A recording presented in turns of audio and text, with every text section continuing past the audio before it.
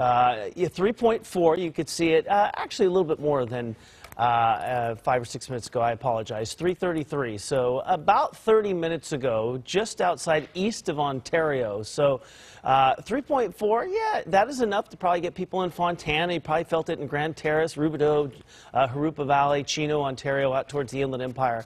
We're definitely looking at probably a few communities that were jolted this morning by 3.4. Of course, no reports of any injuries or damage with the 3.4.